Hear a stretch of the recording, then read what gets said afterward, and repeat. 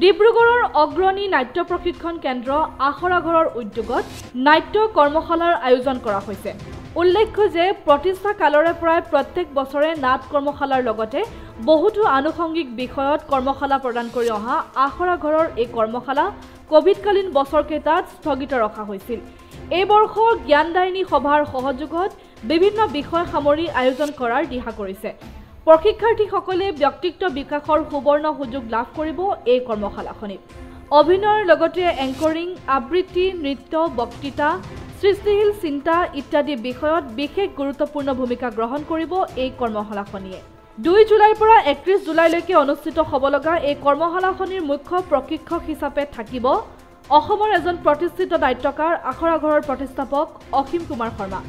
অতিথি প্ৰশিক্ষক হিচাপে প্ৰশিক্ষণ প্ৰদান কৰিব গুণমণি বৰুৱা ৰূপজ্যোতি মহন্ত হেমন্ত ৰাজকোঁৱৰ বিৰাজ চুতীয়া নিৰ্মল দেৱ ইত্যাদি ভালেসংখ্যক গুণীমানী ব্যক্তিয়ে। জ্ঞানদায়িনী মন্দিৰত অনুষ্ঠিত হ'ব লগা এই কৰ্মশালাখনিৰ বিষয়ে অধিক জানিবৰ বাবে আখৰাঘৰ নাট্য প্ৰশিক্ষণ কেন্দ্ৰৰ লগত যোগাযোগ কৰিব পাৰে। উল্লেখ্য যে পুৱা দহ বজাৰ পৰা এক বজালৈ শিশুসকলৰ বাবে আৰু দুই বজাৰ পৰা পাঁচ বজালৈ যুৱক যুৱতীসকলৰ বাবে আৰু পঁয়ত্ৰিছ ঊৰ্ধৰ নাট ইচ্ছুক ব্যক্তিসকলৰ বাবে সন্ধিয়া সাত বজাৰ পৰা ন বজালৈ নাট প্ৰশিক্ষণৰ ব্যৱস্থা কৰা হৈছে। আপোনালোকে নিশ্চয় জানে যে আখৰাঘৰ নাট্য প্ৰশিক্ষণ কেন্দ্ৰৰ বয়স চৌত্ৰিছ বছৰ হ'ল। আৰু এই চৌত্ৰিছ বছৰে আখৰাঘৰে কেৱল নতুন ল'ৰা ছোৱালীৰ লগতে কাম কৰি আহিছে বা এটা নতুন এজাক নাট্যকৰ্মীক আহ, তৈয়াৰ কৰিবলৈ চেষ্টা কৰি আহিছে। আমি ক'ভিড কালতো নিজে ফিজিকেলি কৰিব নোৱাৰিলেও আমি অনলাইন আমি গোটেই অসমৰ এটা এলানি কৰ্মশালা কৰিছিলোঁ।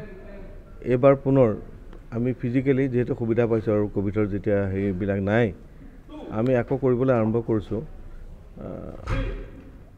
নাটকৰ লগত আচলতে সকলোবিলাকেই মানে তাৰ লগত যোগ হৈয়ে থাকে না নৃত্য থাকে গীত থাকে বা কবিতা আবৃত্তি থাকে। বা তাৰ লগে লগে মই নাভাবোঁ যে চবেই সকলোৱে নাটক কৰিব লাগিব। কিন্তু এই প্ৰশিক্ষণত যিবিলাক ল'ৰা ছোৱালী আহে মোৰ আজি মানে চল্লিছ বছৰ এটা বিশ্বাস হৈছে যে সিহঁতৰ ভাল মানুহ হয়। সিহঁতৰ বেয়া মানুহ হ'ব নোৱাৰে কেতিয়াও। বা জীৱনৰ সি যিকোনো ঘটনাৰ মুখামুখি হ'ব পৰাকৈ নিজকে প্ৰস্তুত কৰি তুলিব পাৰে নাটকৰ মাজেৰে গৈ থাকিলে। আৰু জীৱনৰ যিটো আনন্দ পোৱা যায় সেই আনন্দটো বোধহয় আৰু দায়িত্ববোধ। মানুহ হিচাপে দায়িত্ববোধ।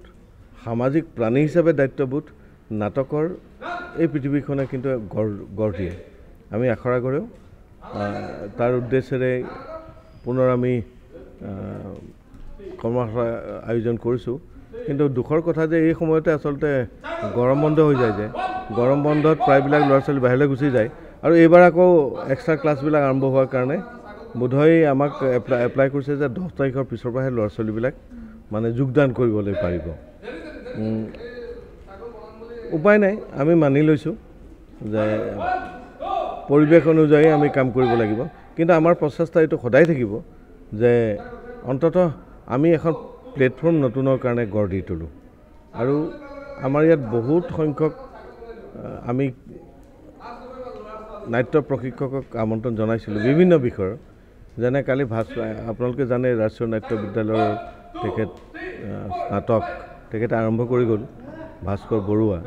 তাৰপিছত বিৰাজ চুতীয়াই এই গোটেই ল'ৰা ছোৱালীখিনি যিখিনি ফিজিকেলি এডুকেশ্যন ফিজিকেল এডুকেশ্যনটো বিৰাজ চুতীয়াই দিব। তেওঁ তাৰপিছত ৰাষ্ট্ৰীয় নাট্য বিদ্যালয়ৰ আৰু এজন প্ৰশিক্ষক গুণমণি বৰুৱা তেওঁৰ পত্নী বৰ্ণালী গগৈ ইতিমধ্যে ভূপেন হাজৰিকা পৰিৱেশ কলা অধ্যয়ন কেন্দ্ৰৰ তেখেত এগৰাকী নাট বিভাগৰ শিক্ষয়িত্ৰী। আমি ৰূপজ্যোতি মহন্ত আহিব হেমন্ত ৰাজকোঁৱৰ আহিব আৰু আৰু বহুত কুমাকুম্বী আহিব। আহ, এতিয়া থাকোঁতে মই কিছুমান নাম পাহৰিয়ে গৈছেগৈ। আৰু মইতো নিৰন্তৰভাৱে মই থাকিমেই। আৰু এইবাৰ কোনো নাটকে মই আচলতে পৰিচালনা নকৰোঁ বা নিলিখোঁ। এবাৰ আটাই নতুনবিলাকে কৰিব। যেনে আমাৰ যুৱক যুৱতীসকলৰ নাটকখনৰ এবাৰ নাট্যকাৰ আৰু পৰিচালক প্ৰদীপ্ত প্ৰাণ ভট্টাচাৰ্য শিশুসকলৰ নাটকখন কৰিব ইও থাকিব আৰু মোৰ অৰ্চনা বেজবৰাই তেওঁ পৰিচালনা কৰিব। মই লগত সহায়ক হিচাপে থাকিম। আৰু আমি আৰু এটা কাম কৰিছোঁ পঁয়ত্ৰিছ প্লাছ। যদি এনেকুৱা কোনো বিশেষ মানুহৰ আগ্ৰহ থাকে বোলে নহয় নাটক কৰা বহুতৰ ইচ্ছা থাকেতো কিন্তু সুবিধা এটা নাপায়।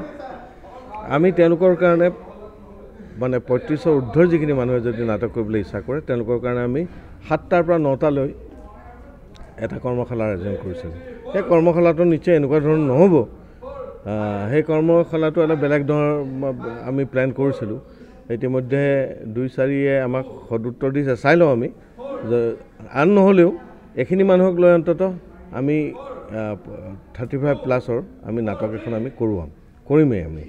তেনেকৈ তিনিখন নাটক আমি ইয়াত কৰোৱাম আৰু এই যে আপুনি মন কৰিছে নাই নাজানো লাহে লাহে ডিব্ৰুগড়তো কিন্তু নাটকৰ পৰিৱেশটো প্ৰায় কমিবলৈ ধৰিছে ল'ৰা ছোৱালীৰ সংখ্যা দেখিলে গম পোৱা যায়। সেই পৰিৱেশটোক যদি আমি অকণমান সজীৱ কৰি তুলিব পাৰোঁ সেই প্ৰচেষ্টা আমাৰ থাকিব। সেইটোৱে উদ্দেশ্য আৰু সেইটোৱে আখৰ আগৰে কৰি আহিছিলে ইমান দিনে। ধন্যবাদ। News desk report Asom Aditya.